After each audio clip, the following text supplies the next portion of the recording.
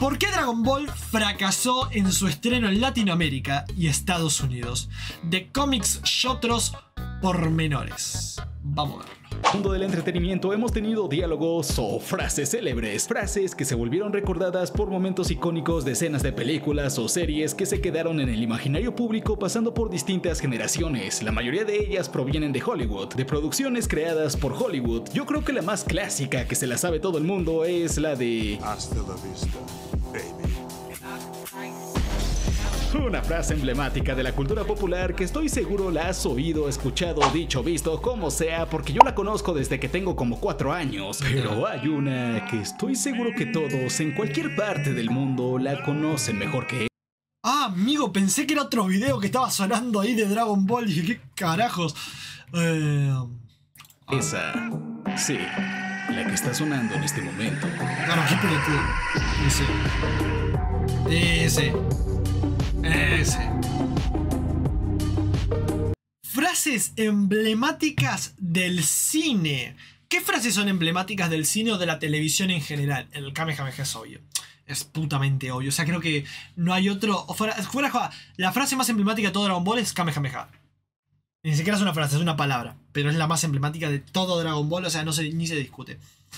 Pero sacando eso de lado, sacando eso de lado. Bueno, la de hasta la vista la es muy icónica. La que me parece muy icónica que va a tener más peso a un par de años más es la de quizás Te quiero 3000 o Te amo 3000 o algo así, que era la de, la de Marvel, de Tony Stark. Quizás. Pero otras frases así tan polémicas y tan fuertes en la industria es como... Yo soy tu Luke, yo soy tu padre. Eh, eh, se tiró un facto, güey. La de... Esa, esa es muy facto. Luz, fuego, destrucción. soy Batman, soy Batman, soy Batman. Me lo voy a coger, esa también. Esa también, esa también. Sí, sí, sí, sí, sí, sí, sí, sí. sí. Nada, pero sí, sí. ¿Qué otras pueden ser? O sea, alguna más. Quiero acordarme de alguna. Pues seguro que hay, güey. Yabadabadu. No, me parece que medio pete esa, ¿no? Yabadabadu. Esa de los picapiedras. ¿Quién vio los picapiedras? Yo nunca vi los picapiedras, pero esa frase la conozco, boludo. Hasta la vista, baby, sí, ya hablamos de esa. Un gran poder conlleva una gran responsabilidad. Valde, sos un. Eh, sos un. ¡Viva Cristo Rey! ¿Por qué me hizo reír, boludo? sí, sí, sí, sí.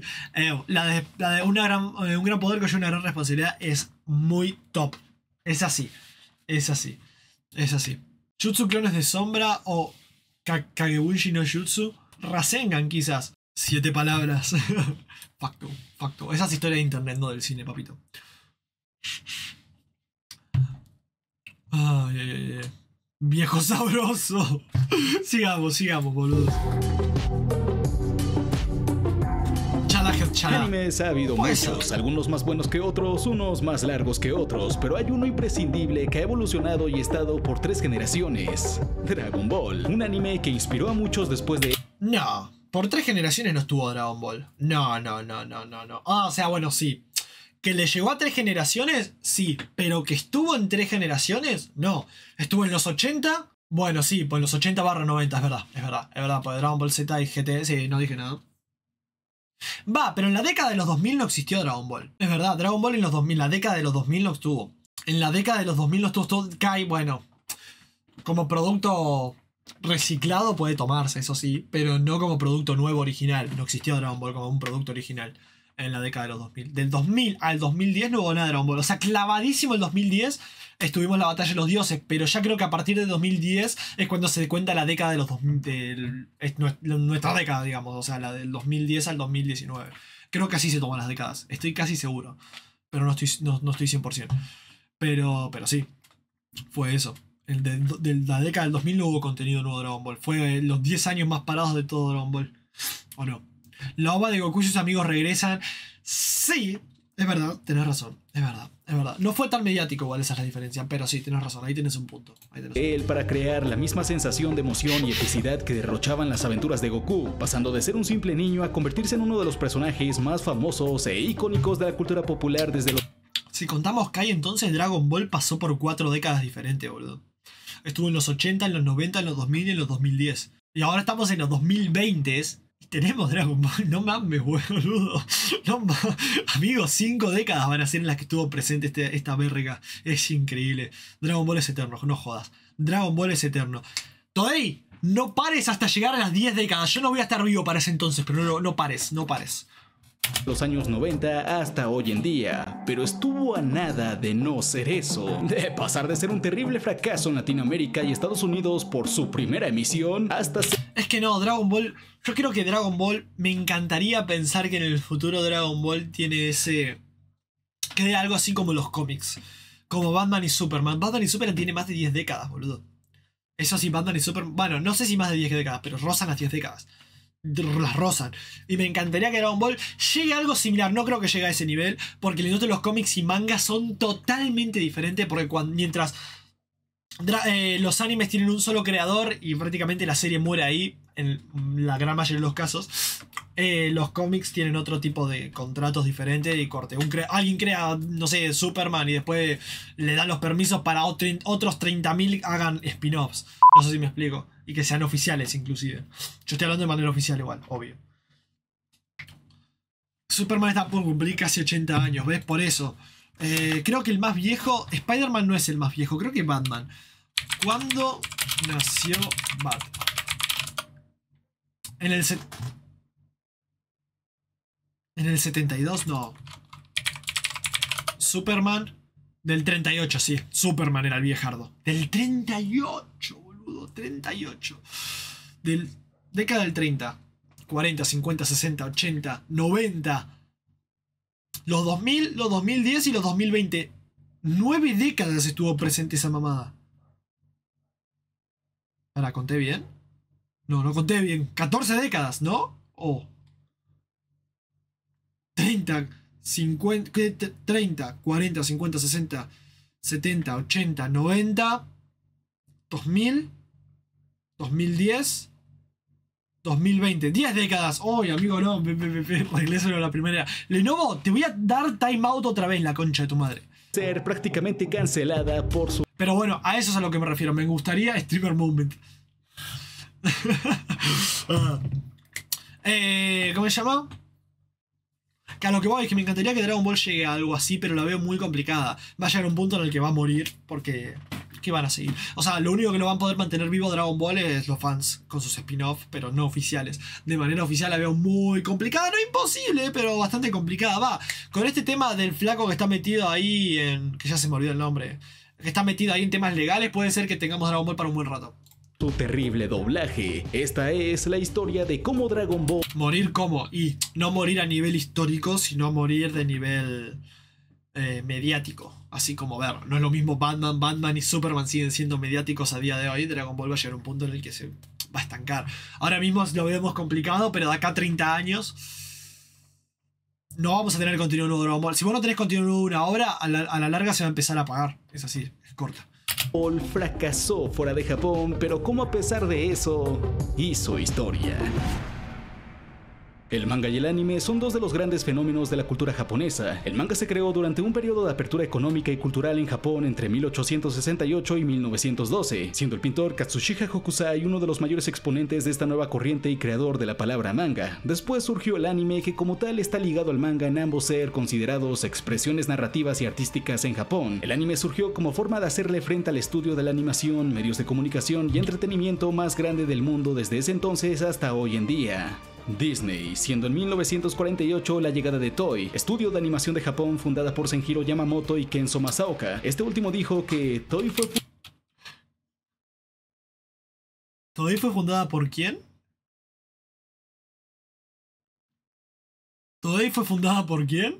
Fundada para que sea el Disney oriental. Toei era la encargada de que las mayores producciones animadas de Japón lleguen a todo el mundo gracias a contratos con estudios de doblaje y productoras televisivas. Fue hasta 1961 cuando en Estados Unidos, de la mano de Toei, se transmitieron dos películas llamadas Magic Boy y The Tale of the White Serpent, marcando así un hito, siendo a partir de ese momento que el anime comenzó a ganar seguidores en la región. Después, con el estreno de Astro Boy, otra vez gracias a Toei en ser el primer anime en recibir una amplia distribución, especialmente en los Estados Unidos, ayudó en gran medida a la relevancia del anime de la cultura popular fuera de Japón. Pero el verdadero auge del anime ocurrió durante la década de 1990, conocida como el boom del anime. Durante este periodo, la popularidad del anime creció significativamente gracias a los creadores de sus obras más famosas como Katsuhiro Otomo con Akira, Hayao Miyazaki con Mi vecino Totoro, Rumiko Takahashi con Inuyasha o claro, Akira Toriyama con Dragon Ball. Dragon Ball fue lanzado en 1984.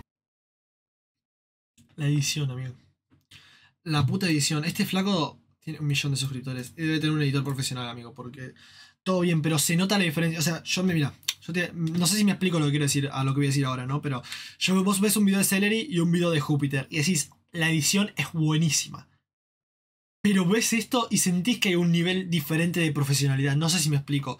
Por más que lo de Celery, o sea, ni, o sea, no sé si, o sea, por más que lo de Celery sea una locura, que es algo que ni por más que ni por más que practique durante meses me, me voy a llegar yo incluso. eh, esto está como, no sé, tiene un toque de profesionalismo diferente. Me encanta. No sé cómo por qué, pero me gusta muchísimo.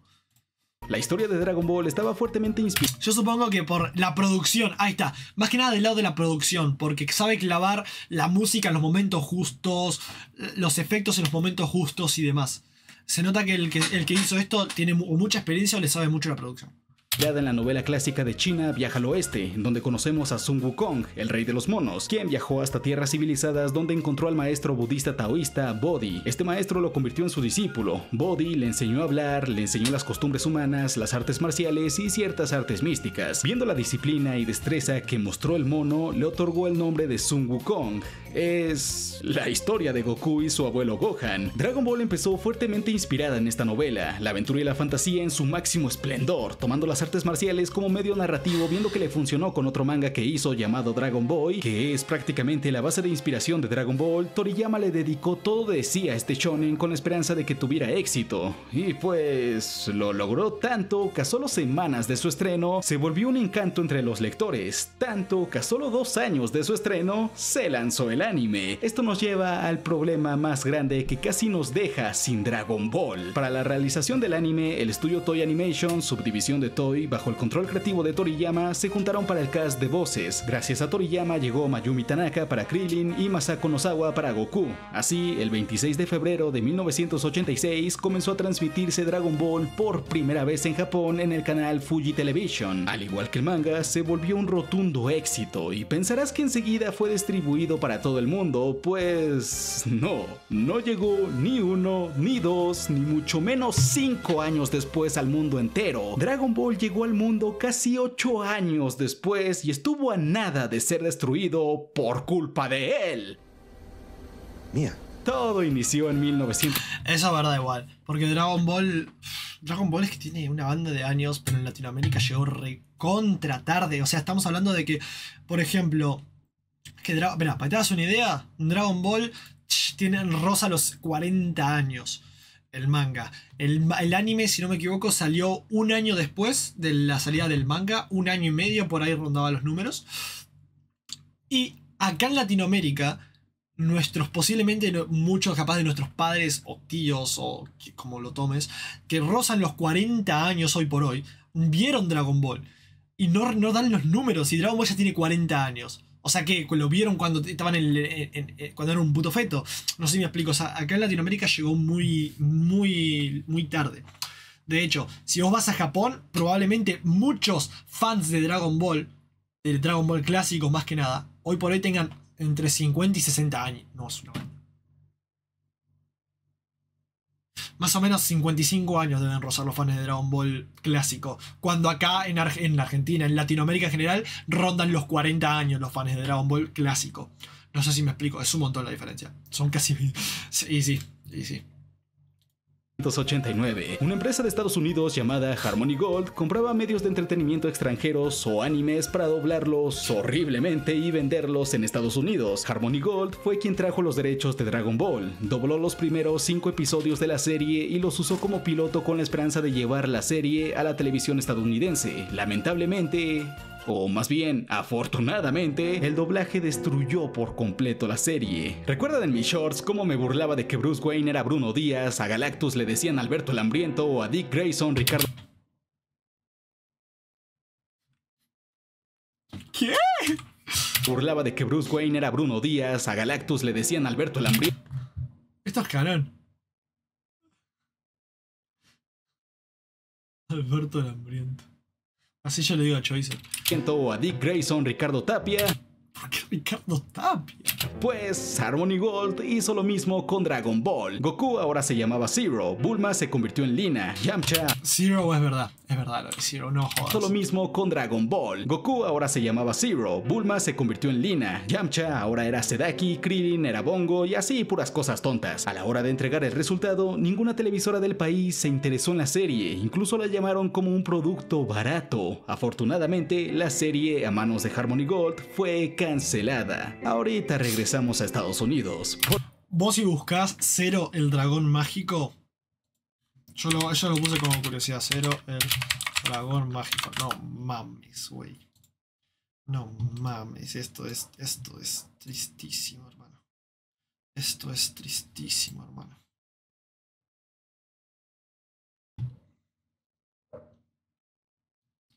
Ay, ay, ay. Por otro lado, en 1994 para Latinoamérica y 1993 para México llegó Dragon Ball. O debería decir Zero y el Dragón Mágico. Ese fue el título con el que se estrenó Dragon Ball no solo en México, en Latinoamérica. ¿Por qué? Por culpa de Harmony Gold. Utilizaron como base la versión de Harmony Gold, pero no solo por 5 episodios, sino por... España, te perdono todo. Te pido mil disculpas por todo España, te lo juro. 60, ahora cambiando nombres como Goku siendo Cero, las esferas del dragón eran las esferas de fuego, Lunch se llamaba Lanchita y Krillin se llamaba Cachito. Eso sí, los nombres cambian. Lanchita. pero la censura. Lanchita. No, los 60 episodios en ¿Cómo? Cachito. Eso sí, los nombres cámbienlos, pero la censura no. Los 60 episodios emitidos en Latinoamérica fueron sacados así tal cual como se mostraron en Japón, o sea, sin censura. ¿Partes blandas? Así es, me refiero a las bolas. Esta parte no se presta tanto para ser censurada, pero hay varias las cuales sí tenían que llevar censura y aún así las dejaron. Aparte de esto, el doblaje también influyó mucho a que el público adolescente y sobre todo los niños no se interesaran en la serie, así que Zero y el dragón mágico después de 60 episodios fue cancelada, o más bien dejada de transmitir debido a su poca audiencia. Lo mismo pasó en Estados Unidos en esos mismos años. Después de ser rechazados esos 5 episodios pilotos de Harmony Gold, Gen Fukunaga, un ingeniero que nació en Japón pero vivió en Estados Unidos la mayor parte de su vida, tenía un familiar que trabajaba en Toy Animation. Fukunaga logró convencer a su familiar de que si emitían Dragon Ball en Estados Unidos iba a romper todo lo que se podría romper. Así que junto a un socio comercial, en el año 1994 fundaron Funimation, un estudio de animación que financió la traducción de la serie. Ahora sí, como debe de ser aunque esta vez sí, a diferencia de lo que hizo Harmony Gold, con mucha censura. Así, en 1995, casi 10 años... Literalmente, con Dragon Ball, los latinoamericanos tuvimos la suerte con Dragon Ball que no tuvimos con One Piece, literalmente. Porque en España, por ejemplo, One Piece es la Santa Trinidad. Sin embargo, acá, y, One Piece vino a Argentina, Argentina, Latinoamérica, pero con un doblaje asqueroso y no hicieron la doble jugada que hicieron con Dragon Ball. Premio castigo, muchachos años después de su transmisión en Japón, Dragon Ball logró ser transmitido a una audiencia estadounidense gracias a Funimation, pero ocurrió otro problema. La serie fue cancelada después de la finalización de una temporada debido a los bajos índices de audiencia que tuvo en ese momento. Funimation, en lugar de vender caro, vendió barato porque de plano no se vendió. El mayor motivo de esto se debió al horario en la que se transmitía, que lo hacía por la tarde. No se sabe tal cual qué era lo que pasaba por lo que la audiencia no se interesaba en Dragon Ball si ya no tenía el doblaje horrible de Harmony Gold, pero por alguna razón no tenía el éxito Dragon Ball en Estados Unidos como el que tenía en Japón. Y en Latinoamérica, pues ni hablemos con ese doblaje. Paréntesis, en esos años, en 1994, antes de que llegara Dragon Ball a Estados Unidos, en Japón ya había terminado Dragon Ball Z. No, es un montón. Es un montón, ve lo que te digo.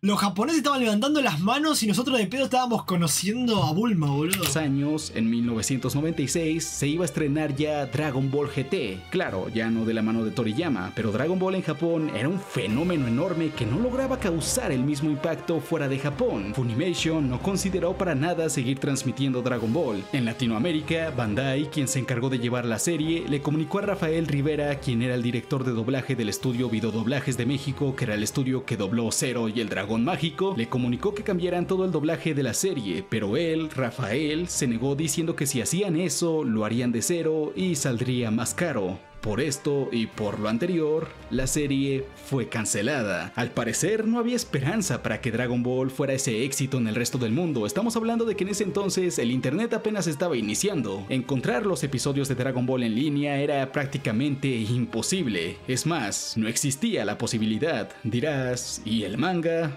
Pues también era imposible. El primer volumen, el primero, salió de Japón después del año 2000. Llegó a Latinoamérica de manera legal entre 2002 y 2008. ¿Cómo? ¿Cómo? Seguro en Argentina llegó en 2008. Fija, es que no tengo ni una pizca de duda. No, mira, no jodas. Del 2000, o sea. Encima era papel, boludo, dejate de joder. O sea, literalmente era en ese. Era más fácil buscar en internet que, esperar a que llegue. También por ese motivo surgieron rumores o casi casi mitos que tanto en Latinoamérica como en Estados Unidos existía este mítico doblaje perdido. Hoy en día sabemos que sí existió gracias al internet, pero en ese entonces el que dejaran de transmitir la serie de repente y luego apareciera con otro doblaje solo te hacía decir fue un efecto Manuela. Entonces Dragon Ball tanto en Latinoamérica como en Estados Unidos fue un fracaso en su primera transmisión. Sin embargo, ocurrió algo. En Latinoamérica, Bandai, al no llegar a un acuerdo con el estudio Videodoblajes de México, una vez cancelada esa versión de Dragon Ball, llegó a un acuerdo con Producciones Salgado, mismo estudio que hizo el doblaje de los Caballeros del Zodiaco. Este estudio sí hizo eso, lanzar Dragon Ball por fin de manera original con los nombres de todos los personajes ya bien, pero solo lo hizo otra vez hasta el episodio 60. Después llegaría el estudio Intertrack, quien ya se encargó de todos los episodios sobrantes. Es por eso que en Dragon Ball de Latinoamérica los primeros 60 episodios aún siguen teniendo cosas como estas. ¡Ay, Dios mío, es la onda glaciar del maestro Roshi! Pero hey, ya hay censura. Y ahora sí, después de la cancelación de Zero y el Dragón Mágico en 1993, en 1994 Dragon Ball llegó a México y Latinoamérica con un nuevo doblaje y fue un éxito.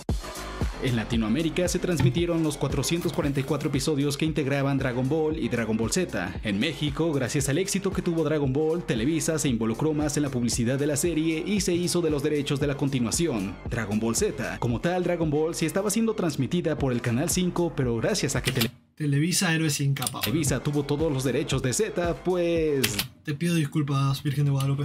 Te todo. Debido a que no censuró la violencia como está censurada hoy en día, se encargó de llevarlo al éxito que todos conocemos aquí en México. Sí, aunque la regresaran siempre a la saga Saiyajin, dejando inconclusa la saga de Freezer y la de Buu, aún así tuvo éxito. Dragon Ball Z fue un éxito, sea cual sea el horario en la que fuera transmitida, al menos en México. Así, Latinoamérica, después de casi 10 años de ser emitido por primera vez en Japón, al fin logró que Dragon Ball fuera un éxito. Cosa que no pasó en Estados Unidos. Vamos a regresarnos unos momentitos. Con el fracaso que fue Dragon Ball siendo transmitido por la tarde en 1996, Funimation pudo asociarse con Saban Entertainment y Ocean Studios para hacerse con las licencias de Dragon Ball Z. Esto gracias a la financiación que lograron obtener de un acuerdo que hizo Funimation con Dick Entertainment Corporation, una productora audiovisual especializada en la animación que le pertenecía nada más y nada menos que a Disney. Gracias a esto, Funimation decidió estrenar Dragon Ball Z en Estados Unidos. Así es, mandaron al carajo Dragon Ball y se fueron de lleno con Dragon Ball Z. Funimation, esta vez para ahorrar dinero y asegurarse de no causarle pérdidas al estudio de Seiban, sacó Dragon Ball Z como si la hubieran hecho ellos. ¿A qué me refiero? Para empezar, lado positivo es que no me hicieron a Goku negro. Chan Studios fueron los encargados de doblar la serie, mientras que Seiban daba órdenes directas de lo que tenía que tener la serie. Seiban mandó a que toda la música del anime fuera compuesta por ellos, o sea, los tracks originales del anime fueron totalmente quitados y le pusieron música compuesta por el estudio, esto para no pagar regalías a Toy Animation. Es bien sabido que a diferencia de Dragon Ball, Dragon Ball Z tiene más momentos de violencia y sangre. El estudio, con miedo a que el rating de la audiencia baje,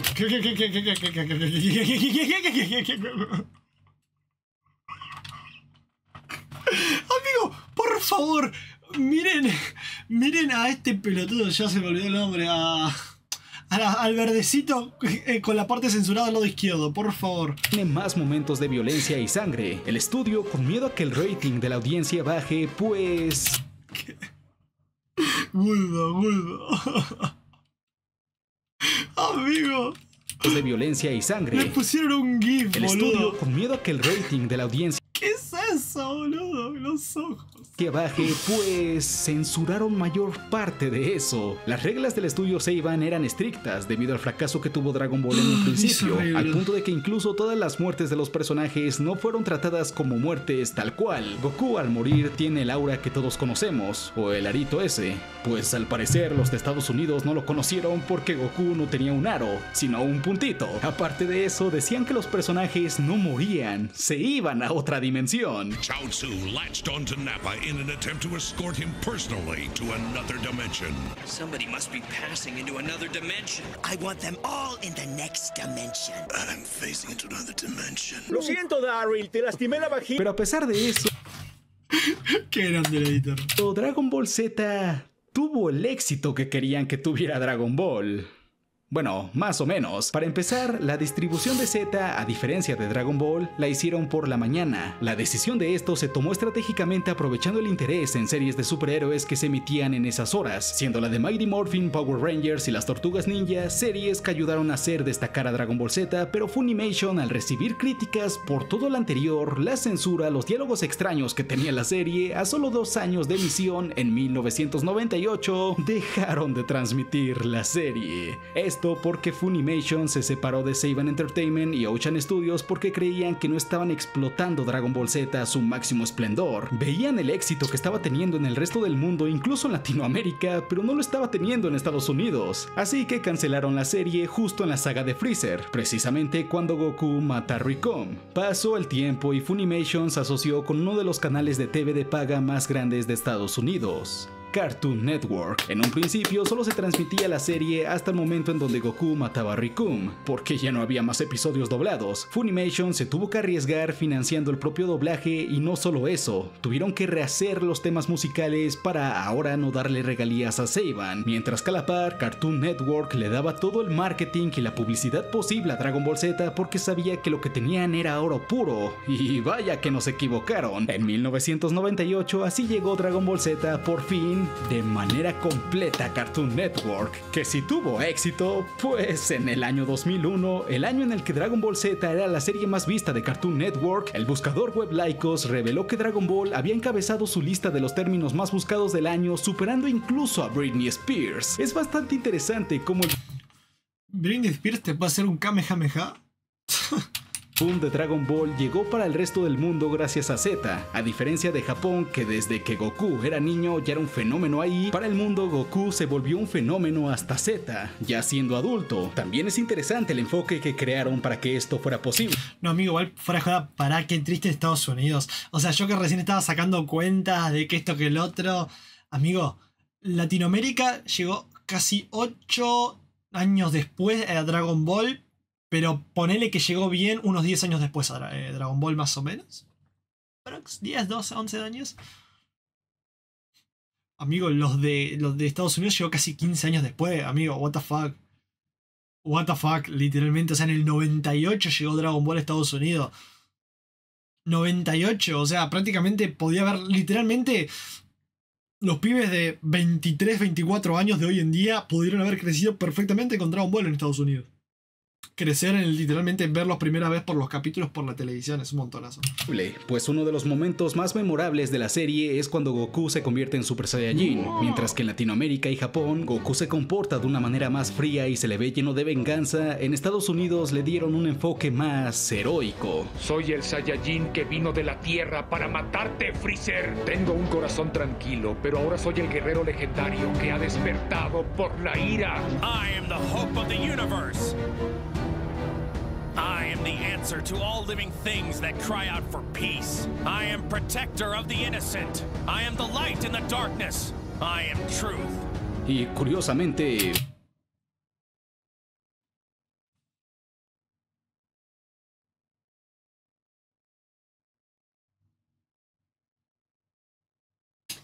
Amigo, pero.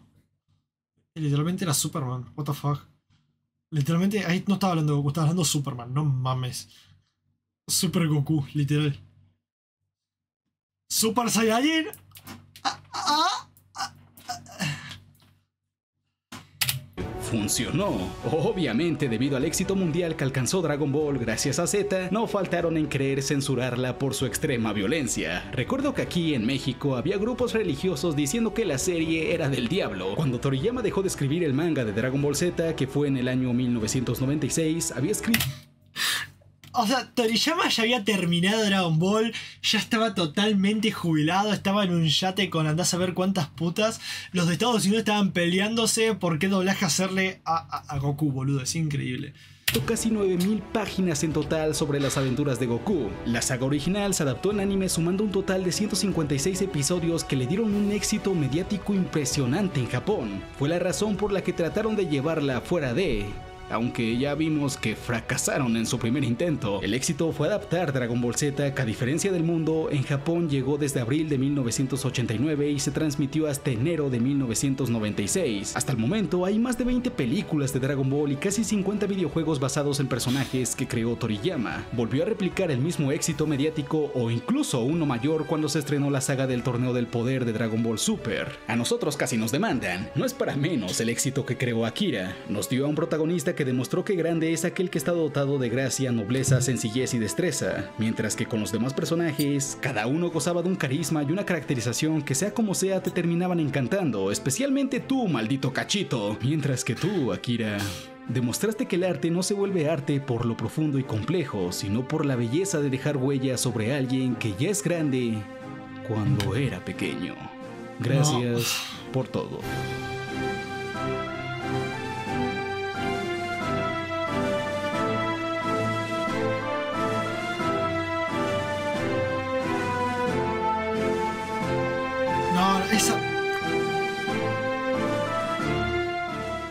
Esa última frase me puso los pelos de punta. Pero literalmente los tengo de punta los pelos. What the ¿por qué?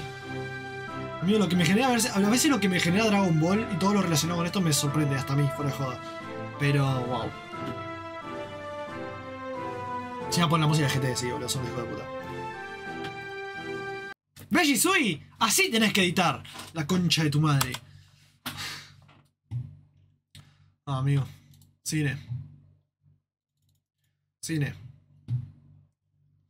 Qué buena edición tiene el chico. Sí, sí, no, para mí es un editor esto, es un editor profesional. Esto un youtuber no te lo hace ni en pedo, amigo. El youtuber de pedo, nada, esto, esto lo hace un editor profesional, amigo. Se notaba de calle que el que editaba esto tenía. Tenía, tenía, tenía lo suyo. Tenía lo suyo, el hijo de la gran puta. Bien ahí, bien ahí. No, alto vídeo. Alto vídeo, información, texto, diálogo, todo, todo, todo, todo.